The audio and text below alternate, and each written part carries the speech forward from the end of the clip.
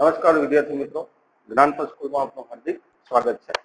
આજે ધોરણ દસમાં રિવિઝન ઓફ ટેન્સીસ કાર્ડનું રિવિઝન આપણે કરશું કે જેટલા પણ ટેન્સ છે એ ધોરણ દસમાં આપણને ક્યાંક ને ક્યાંક ઉપયોગી છે. સૌથી પહેલા ધોરણ નવમાં આપણે ભણી ગયા છીએ. છતાં પણ ફરીવાર એકવાર રિવિઝન રૂપે હું અહીંયા સમજાવું છું. ધ સિમ્પલ પ્રેઝન્ટ ટેન્સ એટલે કે સાદો વર્તમાન સાદો વર્તમાન કાળ. હવે મિત્રો, ધોરણ નવમાં, જો કે ધોરણ આઠમાં પણ તમે અભ્યાસ કરી ગયા છો, સાદા વર્તમાન કાળનો ધોરણ સાતમાં પણ અભ્યાસ કરી ગયા છો. સૌથી પહેલા તો વાત છે કે હાઉ ટુ યુઝ જે ઉપયોગ છે, એ સાદા વર્તમાન કાળનો છે. તો કે રોજિંદી ક્રિયાઓ પછી સનાતન સત્ય હોય, કંઈ પણ.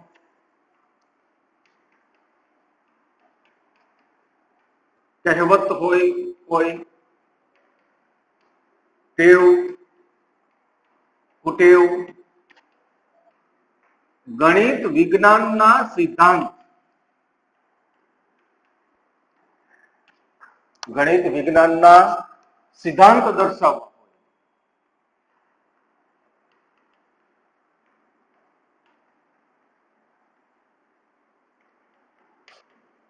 ત્યારે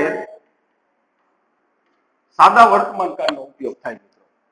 રોજિંદી ક્રિયા આપણે જે કરતા હોય તે સનાતન સત્ય હોય કે દાખલા તરીકે સૂર્ય પૂર્વમાં ઉગે છે, પશ્ચિમમાં આઠમે છે, તો એ સનાતન સત્ય છે. કહેવત હોય કોઈ પણ તેવું હોય, આપણી કુટેવ હોય, ગણિત વિજ્ઞાનના સિદ્ધાંત હોય, વગેરે દર્શાવવા માટે સાદા વર્તમાન કાળનો જ ઉપયોગ થાય છે. અન્ય કોઈ કાળનો ઉપયોગ થતો નથી. ગુજરાતી વાક્ય જ્યારે બનાવો હોય ત્યારે આનો ઉપયોગ આપણે કરી શકીએ. ત્યાર પછી કે સાદા વર્તમાન કાળનું વાક્ય હોય તો ઓળખાણ કેવી રીતે પડે? એના માટેના જે અમુક શબ્દો છે, દાખલા તરીકે daily every day often usually generally regularly,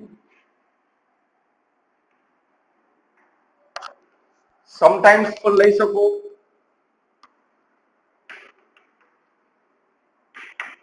આ ઓળખદર્શક શબ્દો છે કે જે સાદા વર્તમાન કાળમાં જોવા મળતા હોય છે. બરોબર?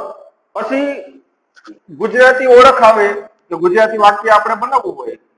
ગુજરાતી ઓળખ. કે ગુજરાતી વાક્ય જ્યારે પણ આપણે બનાવવાનું થાય, તો એક વસ્તુ યાદ રાખવી કે વાક્યના અંતે છે શું કે છીએ. આ ત્રણ વસ્તુ યાદ રાખવાની. કે હું દરરોજ શાળાએ જાઉં છું. અમે દરરોજ શાળાએ જઈએ છીએ. તે દરરોજ શાળાએ જાય છે. આ પ્રત્યય છેલ્લે આવે. એટલે આપણે સમજવાનું કે આપણે જે કાળનું વાક્ય છે કે તે સાદા વર્તમાન કાળનું છે.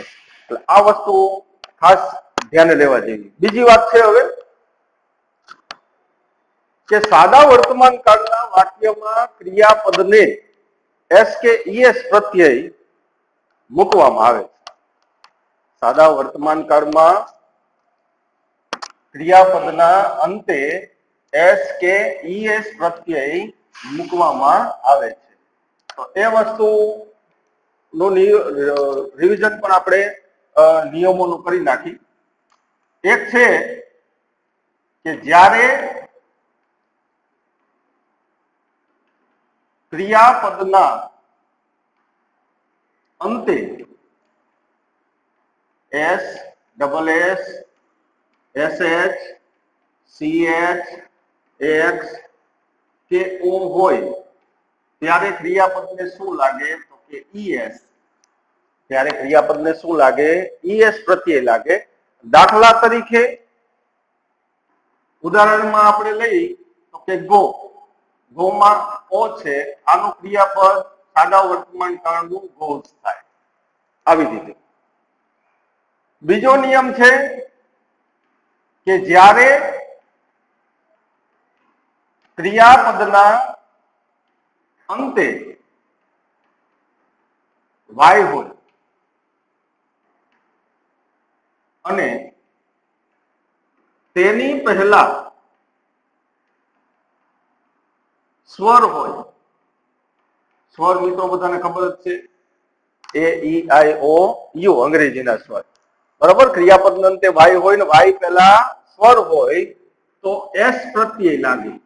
દાખલા તરીકે પ્લેટ પ્લેનું થઈ જશે પ્લેસ એસ પ્રત્યય લાગી જશે. ત્યારબાદ ત્રીજો નિયમ છે કે જ્યારે ક્રિયાપદના અંતે વાય હોય અને તેની પહેલા વ્યંજન હોય,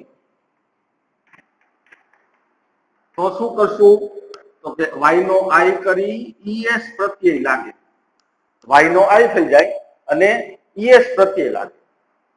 ખાસ વસ્તુ જોજો મિત્રો. દાખલા તરીકે ઉદાહરણમાં લઈ સી આર વાય ક્રાય એટલે રડવું.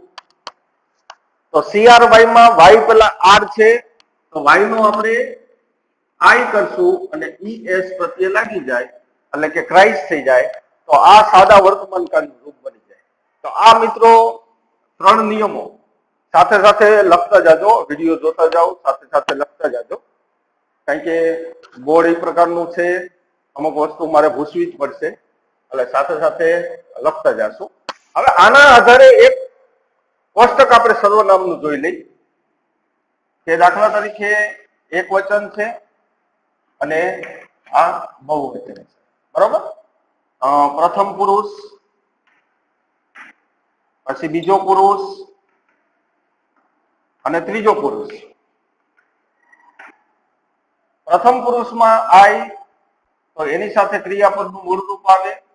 બહુવચન વી, તો એની સાથે પણ ક્રિયાપદનું બહુવચન આવે. બીજો પુરુષ, તો કે યુ, તો એની સાથે ક્રિયાપદનું મૂળ ક્રિયાપદ આવે, બહુવચન લઈ લઈ યુ તો એની સાથે ક્રિયાપદનું મૂળ રૂપ આવે. બીજો પુરુષ એક વચનમાં હી, સી અને ઇટ. આમાં થશે એસ પ્રત્યય લાગશે. એટલે કે પ્લીઝ. એટલે કે હી, સી અને ઇટ ત્રીજો પુરુષ આવે, ત્યારે જ આ ત્રણ નિયમો લાગુ પડે. એસ લાગે અથવા ઈએસ પ્રત્યય લાગે.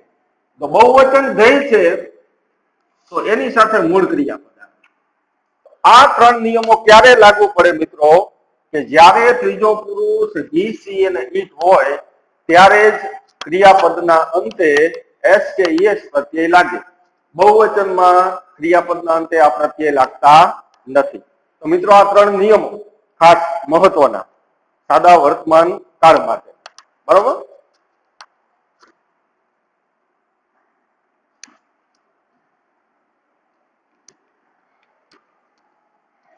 સાથે સાથે લખતા જજો, વીડિયો જોતા જાઓ, સાથે લખતા જજો.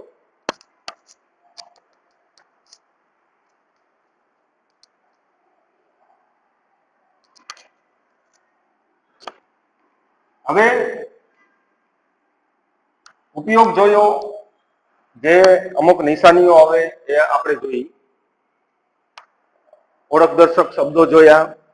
ત્રણ એસ કે યસ પ્રત્યે મૂકવાના જે નિયમો છે એ આપણે જોયા. હવે ખાસ કે નકાર અને પ્રશ્નાર્થ વાક્ય નકાર અને પ્રશ્નાર્થ. તો નકાર અને પ્રશ્નાર્થ વાક્ય બનાવવા માટે ડુ અને ડઝ નો ઉપયોગ થાય, મિત્રો. ડીઓ ડુ અને ડઝ. આ ઉપયોગ થાય. હવે આ કોની કોની સાથે આવે? સર્વનામ સાથે. દાખલા તરીકે આઈ વી યુ દે આ બધાની સાથે ડુ ઉપયોગ થશે. હી સી અને ઇટ આ બધાની સાથે ડઝ નો ઉપયોગ થાય આઈ વી યુ અને ધે સાથે ડુ નો ઉપયોગ થાય, હી, સી ઇટની સાથે ડસ નો ઉપયોગ થાય. હવે કે નકાર અને પ્રશ્નાર્થ વાક્યમાં અમુક વસ્તુ નક્કી હોય છે મિત્રો, કે જ્યારે ડુ નો ઉપયોગ કરવામાં આવે ત્યારે ક્રિયાપદ મૂળ રૂપમાં મૂકવામાં આવે છે.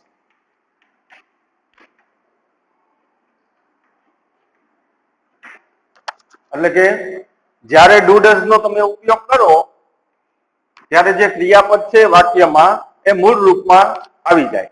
દાખલા તરીકે ફોર એક્ઝામ્પલ આપું તમને અહીંયા, કે આપણે વાક્ય લીધું કે Sheetal.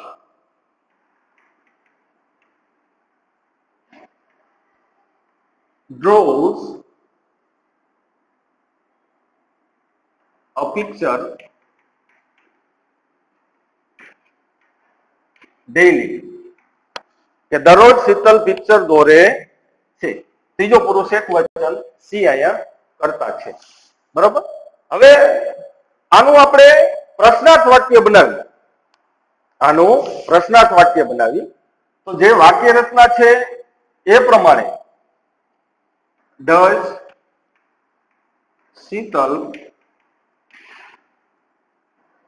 draw a picture daily? Question mark. કે does Sheetal draw a picture daily? હવે આનું નકાર બનાવી તો શીતલથી સ્ટાર્ટ થાય કે Sheetal does not draw a picture daily આ નકાર બની. વાક્ય રચના અમને સમજાવું છું મિત્રો. આ માત્ર ડોઢનું તમને આઈડિયા આવે એટલા માટે અહીંયા વાક્યો મેં લીધા છે. Sheetal draws a picture daily આપણું વાક્ય છે. એનું પ્રશ્નાર્થ બનાવી તો ડ્રો જે એસ છે એ ડ્રોમાં નીકળી જાય પ્રશ્નાર્થમાં, નકારમાં પણ નીકળી જાય. આવી રીતે ડુ ડઝ નો ઉપયોગ પ્રશ્નાર્થ અને નકાર વાક્યમાં કરવામાં આવે છે. હી સી ઇટ સાથે ડઝ આવે, આઈ વી, યુ ધે સાથે ડુ આવે. બરોબર? એટલે આ એક ખાસ વસ્તુ સમજવા જેવી છે. ત્યારબાદ જે વાક્ય રચના છે એ તમને સમજાવું.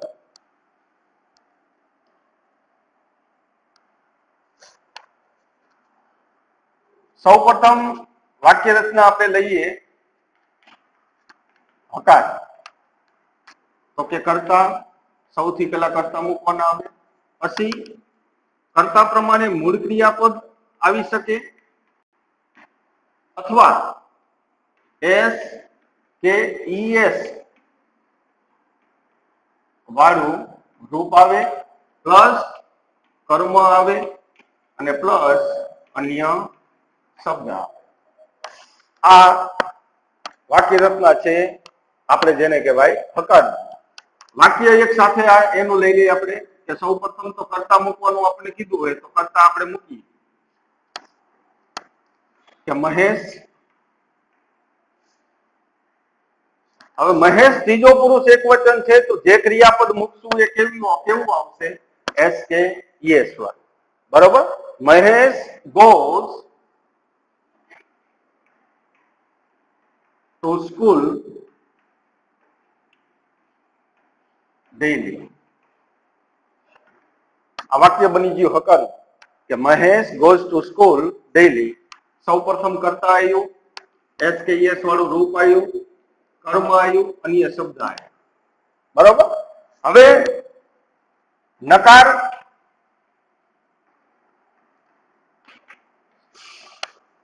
નકારની વાક્ય રચના છે તો કે કરતા પ્લસ ડુડલ્સ પ્લસ નોટ પ્લસ મૂળ ક્રિયાપદ જ આવશે સાથે. પ્લસ કર્મ અને પ્લસ અન્ય શબ્દ. બરાબર? હવે ઉપરનું વાક્ય છે, એનું જ આપણે નકાર અહીંયા લઈ લઈએ. પેલા સૌ પ્રથમ કરતા તો કે મહેશ. પછી કીધું કે ડુડસ, તો મહેશ બીજો પુરુષ એક વચન છે, એની સાથે લઈશું આપણે ડચ મહેશ ડચ નોટ મૂળ ક્રિયાપદ ગોઝ નો થઈ જશે ગો. Two school daily. આ વાક્ય બની ગયું નકાર કે Mahesh does not go to school daily Mahesh દરરોજ શાળાએ જાય છે. મહેશ દરરોજ શાળાએ જતો નથી. ત્યારબાદ પ્રશ્નાર્થ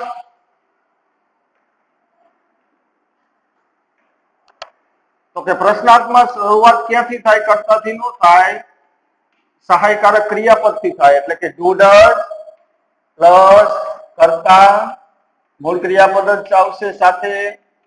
મૂળ ક્રિયાપદ પ્લસ કર્મ પ્લસ અન્ય શબ્દ આવશે અને લાસ્ટમાં ક્વેશ્ચન માર્ક આવશે.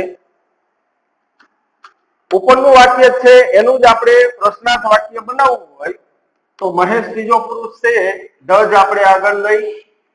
કે ડજ મહેશ